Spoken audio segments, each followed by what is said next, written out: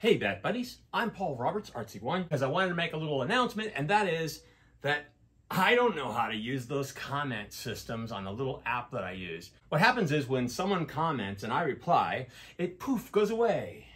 And it never comes back if you ever reply back.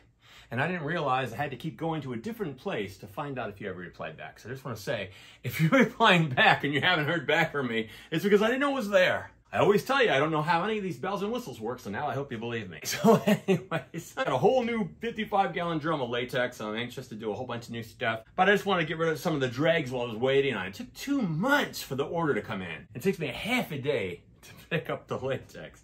Anyway, I had some things left over here. So let's go ahead and just look at how I treat some of these things. What I'm basically doing here is I'm trying to pay for another thing of resin not creating anything great, just generic stuff. I've got a few things odds and ends back here that I got a whole bunch in the back of the cave of things that I've never even done anything with. I should have an example of everything so I can pick it up and look at it. Oh, well, here's one we haven't seen in about five years. This is called the Robin Tow Bar.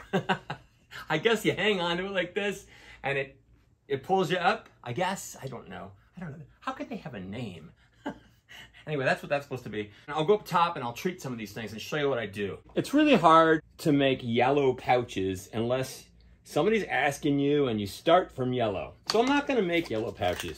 I do what's easy unless people ask me to do something. So the first thing I do is get a bunch of brown on there and load up the brush. I wanna go over this stuff and suggest that it's gonna be brown, but not actually make it brown. And kind of just dry brush it so some of what's on here will show through. And I'm gonna come back with some gold and make it look a little sprightlier, a little more zippy, because nobody likes brown, yeah. So there's a little bit of brown on there. Let's zap that back just a little bit with some black. Mix it around a little bit. I'm just gonna give it some spritz, give it some accents. Just really, really light now. We're blending the gold in to the brown on the surface a lot of painters work like this, and some painters, they like to mix all their colors ahead of time. I'm one of the kind of painters that likes to see the magic occur while I'm working with it. I mean, I've done it all the different ways. I like to see little magic accidents happen where the paint blends. I'll go ahead and get some extra, and I'll really cake it on just on the edges, just really lightly across, just picking up a few little highlight things like that. And I wanna make sure that this is the last step that I do. And I've really caked the brush. I just want to touch it to a few little areas. You know, in the sculpting that I did on these, I've already got some texture on there, different gouges and wrinkles and such, anticipating that I'd be doing this. So I gave myself something to work for. So that's about it. We're almost already there. And since these are gold, I'll go ahead and make the little snap thing silver, just to give it a difference. I mean, I, you can make it anything you want. You can really make it anything you want. But my goal is to get these done in 10 minutes. Now don't forget I had to create them. So that took some time. And I had to pay for the materials. So basically, there we go. So now, in order to have them be worth the time that I put into them, we're gonna call them done. Just saying, okay, that's that, and that's that. There's a little Lana coming in. So almost every video I do, I have somebody visited me in the bat cave, and I usually leave it on just because it's funny. There's no phone there. Oh. How you doing? I've been trying to get my homework done so that we can all go because I feel bad that I'm never able to go to those concerts. Don't feel bad. I'll be in in a minute. Let me finish this up. All right, so then these, I could just let them be, but they're imperfects. I'm gonna make them used and battle scarred so that I don't make any attempt to make them look perfect because I want people to know if they come to me and they want something perfect, they're gonna get something perfect. But if they don't come to me and they don't ask for something perfect, and I have something that goes out, it's gonna be what it is. So now I've created the brush look, the used look. It's way too much. No dusting, just dim them back down again. There you go. Just to give it a little protection. And I'm gonna call those done. Somebody's gonna put those on their gloves. I'm gonna buy some resin to do some things I wanna do. So then we go on. Sometimes I'll do things a little bit different. So this, I'll give a light dusting of brown too just because I didn't before. I'm still gonna do some of the same treatments, but I want everything to be a little bit different. With me, there's no two things ever the same.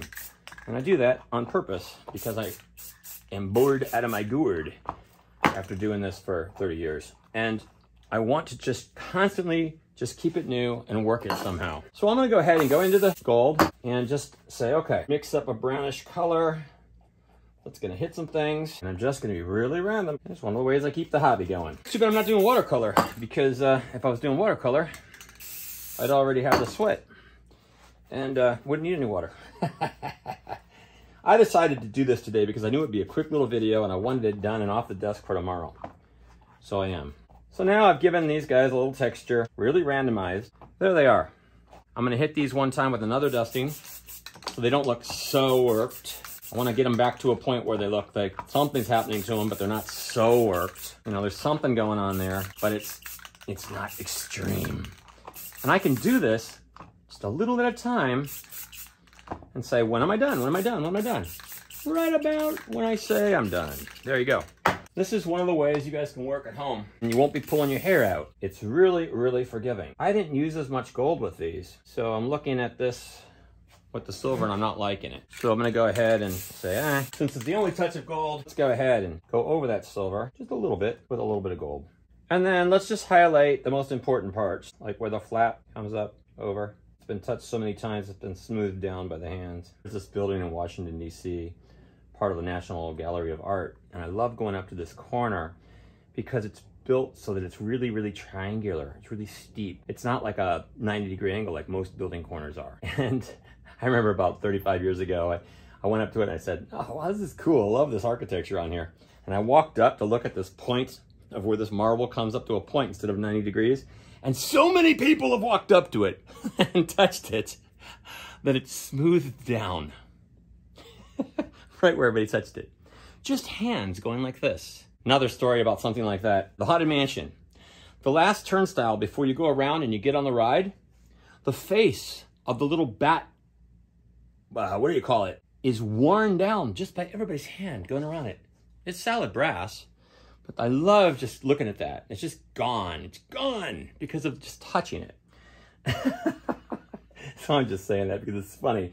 I like I like to make notations of that like some of our artwork, um, first assignments in the first year of college was to uh, look at something out the window all through the day and write notes at how the light and every other factor changed that object visually. Just describe it in our diary notes. That was a fun little assignment. I love making observations. And you want to use these observations when you're working. Say, well, why is this different? I'm spending way too long on these. But what I'm doing is taking a while to talk to you about these things to show you what, what I'm thinking of as I'm working. And it just makes it more fun, but also if you're really taking the time, it can also make it better. So those are set aside, they're done.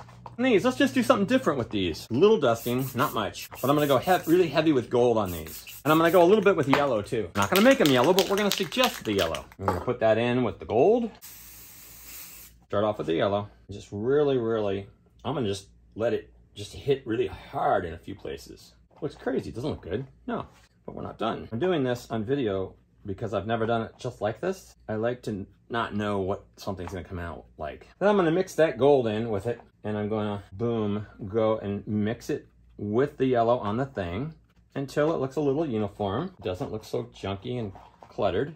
And then right about when I say, okay, I've got enough of the texture of the surface showing through, I'm gonna hit it with the yellow. It's not gonna be a yellow pouch, but it's gonna be suggestive of yellow. It's gonna have a yellow dusting. So we could say it's yellow, it's just really dirty. It's been on a lot of missions. Just in case we say that's too dirty or yellow, we don't want to have that. Go ahead and hit it with a sheen of gold, just a suggestion of the gold. Just enough to soften that up so that where it went on really cruddy at first, you don't see that anymore. Now it's a little more uniform.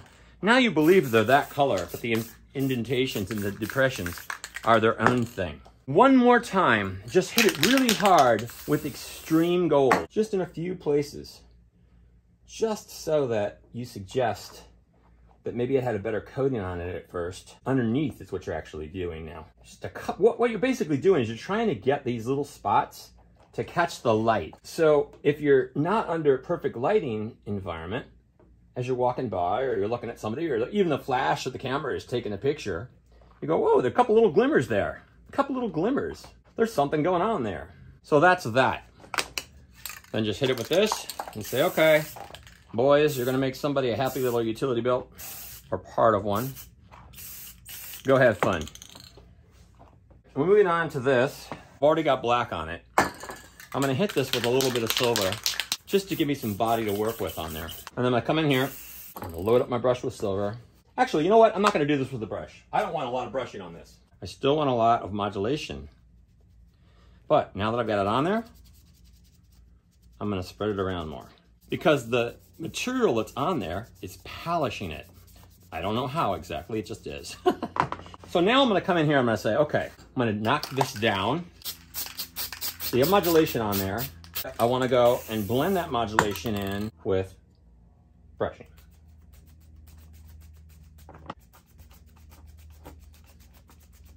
If you're doing Photoshop and you've got two layers, one layer kind of like semi-transparent, and the other layer semi-transparent, put them together, and all of a sudden you've got like the mix of the two. So now we've got some material on there and I wanna make it more silver, make that stuff not show up as much, but have it still be there.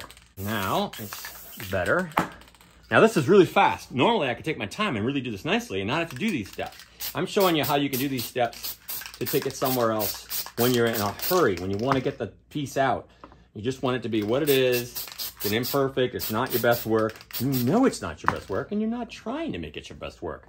You're saying, I wanna do something as opposed to nothing. Now I'm gonna hit a few highlights and make sure the silver is really rubbed into the rag. And these are gonna be scuffs where it hit itself and such, accentuating the few areas that have a little bit of detail to show.